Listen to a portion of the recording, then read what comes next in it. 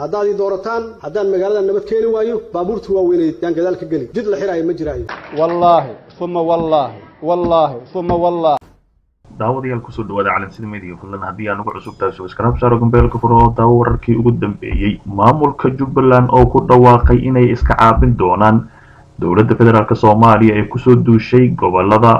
maamulkooda ka tirsan ee gedo islamarkaasina kadib markii ciidamada aad u fara badan la geeyey maamulkaasi ayaa iminka waxaa soo baxaya hanjabaadyo aad u culus ay dhahayaan. Maamulka kismaayo axmed madow oo hogaamiyey inay iska difaaci doonaan islamarkaasina dagaal ay ku qaadi doonaan. Xilli wasiirka warfaafinta maareeye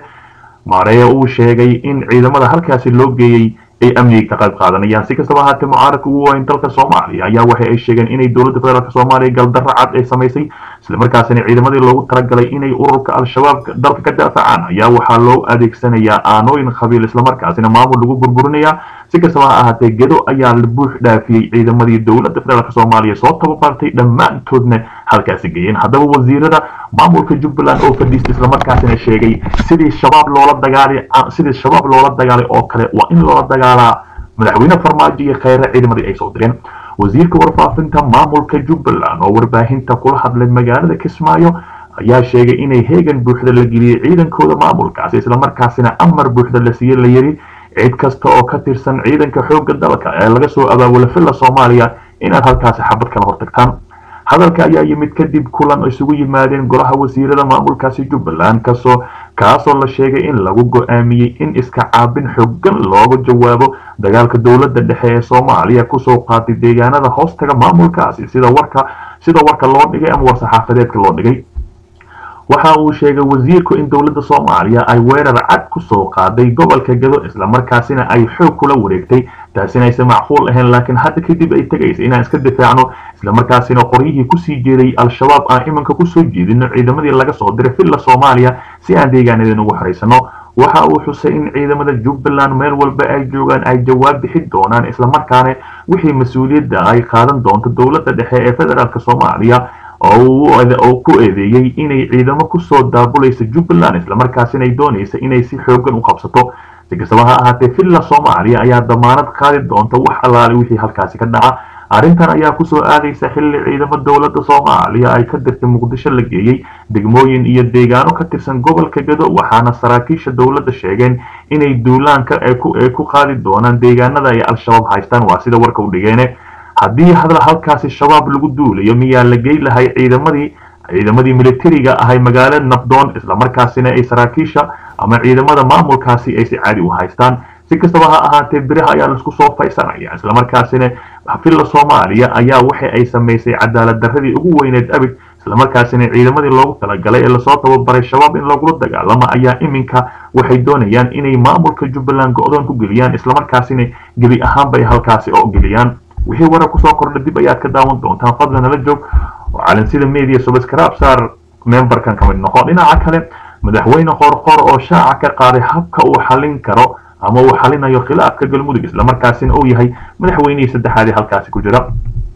madaxweynaha galmudug ee garabka dowladda soomaaliya axmed cabdi kaariyo qorqor ayaa sheegay inuu ka shaqaynayo sidii loo xalin lahaa khilaafka ka dhashay doorashadii ka dhacday magaalada dhuusamareeb ee caasimada maamulkaasi islamarkaasina ay jiraan madaxweyneyaal badan. Madaxweyne qoorqoor oo maalmihii ugu dambeeyey kulamo la qaadanayay qeybaha kala duwan ee bulshada ayaa tilmaamay inuu wado dadaalo lagu xalinayo khilaafka siyaasadeed ee taagan iyadoo taasi loo marayo odayaasha dhaqanka iyo siyaasiyiinta ka soo jeeda deegaanada ayaa layidhi khilaafka siyaasadeed ee ka dhashay doorashadii maamulka galmudug iyo maamulka galmudug iyo kala aragti ee duwanaanshaha waxaa lagu dhammaynayaa wadahadallo iyadoo loo kaashanayo odayaasha dhaqanka iyo siyaasiyiinta galmudug ayuu yidhi madaxweyne qoorqoor doorashada galmudug ayaa waxaa ka dhashay khilaaf siyaasadeed iyadoo oo dhowaan madaxweyne lagu doortay deegaanka maamulkaasi waxaase ballan qaaday arrintaasi in la dhammaynayo madaxweynaha galmudug ee qaybta dowladda federaalk soomaaliya master qoorqoor islamarkaasina isku kalsoon inuu dhammaan soo xaray doono. Madaxweyne axmed madaxweyne axmed cabdi kaariye qoorqoor ayaa la filayaa inuu kulamo la qaato. Dhinacyada kala duwan ee sida ahlu sunna madaxweynaha la doortay sheekh shaakar oo ay ku wada sugan yihiin dhuusamareeb iyo axmed ducaale geelle xaaf oo ku sugan magaalada gaalkacyo oo dhisay asigana galmudug kale oo ah tii labaad dowladda soomaaliya ayaa tan iyo dowladda soomaaliya ayaa tan iyo bilowgii dhismaha galmudug. Waxa ay sheegeen in la dhisayo galmudug loo dhan yahay inkastoo doorashada qoorqoor ay noqotay aqoonsatay ama ay aqoonsatay dowladda federaalk soomaaliya iyo qaar ka tirsan maamul goboleedyada dalka. Sidoo kale maraykanka iyo shiinaha iyo africom ama amisom ayaa aqoonsatay. Si kastaba ha ahaatee qoorqoor ayaa iminka aaminsan in tiisa loo dhaafo islamarkaasina kuwa kale oo xaliyo waxaa macquula haddii uu shaakir iyo xaaq la kulmo islamarkaasina laga hor keeno sidiisoo kale in la yidhaahdo annagaba madaxweyne ayaa nahay adiga noo tanaasul. Sida uu heshii doonaan lama oga haddii aanan halkaasi waan waan cad oo fiican aada u wanaagsan la dhex dhigin. Wixii warar ku soo kordhay dib kala soo calan sida media. Dhinaca kale dahabshiil oo markii ugu horreysay keentay muqdisho keentay gaadiid cusub kuwa laga isticmaalo adduunka sida yurub laga isticmaalo oo ah hoyaanta shirkadda ugu qaalisan dhinaca gawaarida islamarkaasina halkii awal la keeni jiray muqdisho gawaari dubay lagu soo dubtay islamarkaasina ayagoo sikin handeh la keeni jiray. Si kastaba ha ahaatee hadda ayay keentay markii ugu horreysay shirkadda dahabshiil motors gawaari aan weli furaha lagu rigin waa sidii shirkadda ugu soo baxday islamarkaasina si toosa loo keenay. Shirkadda dahabshiil motors ayaa magaalada muqdisho markii ugu horreysay waxa ay keentay gaadiid cusub oo aan horey loo isticmaalin waxaana gaadiidkan soo saartay shirkadda gawaarida ee caanka ee adduunka laga isticmaalo ee hyunda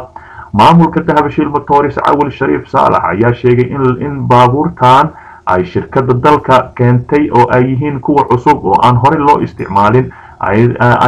hore loo isticmaalin ayna soo saartay shirkadda hyunda waxa uuna tilmaamay in baabuurtani yihiin kuwa forwell ah islamarkaasina meel kasta gali kara. Waxa uu sidoo kale sheegay maamulaha maamulaha in baabuurtani yihiin kuwa awood badan leh oo lagu wadi karo dhulka bacaadka ah iyo waddooyinka kala jajabsan. Waxa uuna xusay in leeyihiin shan sano oo damaanad ah. Islamarkaasina sidaad u jeegtaan waa gawaarida iminka yurub iyo maraykan iyo america adduunka laga wato maadaama ay yihiin kuwa casri ah maamul ku-xigeenka bankiga caalamiga ah ee dahabshiil cosmaan sheekh axmed ayaa sheegay in bankiga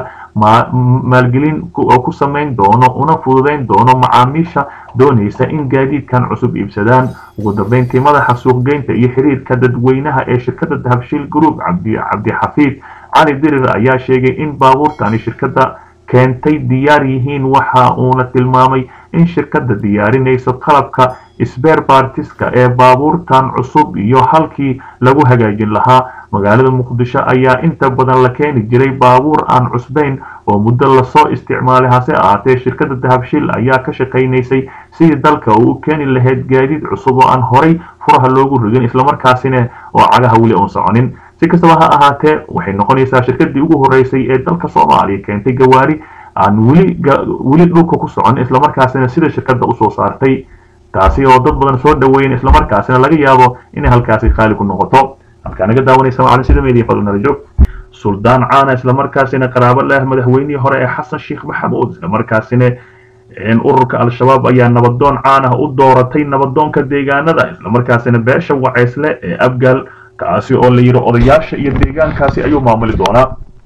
Kooxda al-shabaab ayaa magaalada ceeldheere ee gobolka galgaduud ku caleema saartay suldaan cusub oo ay yeelanayso beesha waceysle ee abgaal kaasoo ka mid ah odayaasha taageersan kooxda al-shabaab islamarkaasina ninkani ayaa qaraabo dhow la ah madaxweynihii hore ee soomaaliya xasan sheekh maxamuud. Islamarkaasina ninkani ayaa si weyn u taageersan kooxdaasi ayaa halkaasi xaflad loogu qabtay kulanka oo ay si weyn u soo diyaarisay kooxda al-shabaab islamarkaasina ay ka qayb qaateen odayaasha dhaqanka haweenka dhallinyarada iyo ardayda deegaanka ceeldheere ayaa waxaa suldaanka beesha waceysle loogu doortay daa-uud xasan aadan islamarkaasina hadiyada qaali ah halkaas loo guddoonsiiyey suldaan daa-uud xasan ayaa maamuli doono deegaanka ceeldheere oo ay gacanta ku hayaan kooxda al-shabaab waxaana xafladda lagu caleemo saaray ka soo qayb galay qaar ka tirsan guddoomiyeyaasha deegaanada ay gacanta ku hayaan ururka al-shabaab islamarkaasina si weyn ay iskaga soo horjeedaan deegaanadaasi ururka ahlusunna waljamiica odayaashii waceysle ee beesha abgaal ee ka soo qayb galay xafladda ayaa u badnaa kuwa taageersan al-shabaab ayaa sheegay inay garab taagan yihiin kooxda al-shabaab islamarkaasina ay ku midoobeen suldaanka cusub ee iminka yeelata beesha islamarkaasina qaraabo dhow la ah. Madaxweynihii hore soomaaliya xasan sheekh maxamuud. Al-shabaab ayaa suldaan cusub guddoonsiisay ama suldaankan cusub guddoonsiisay kutaabka qur'aanka kariimka kutaabka qur'aanka kariimka ah iyo calanka al-shabaab garabka loo saaray sidoo kale waxaa la guddoonsiiyey qori iyo booshkiisa iyo gaari baraado ah oo jooga sagaal kun oo dollarka maraykanka ah iyadoo faras lagu dhex mariyey magaalada ceeldheere islamarkaasina la arkaya asigoo calanka garabka u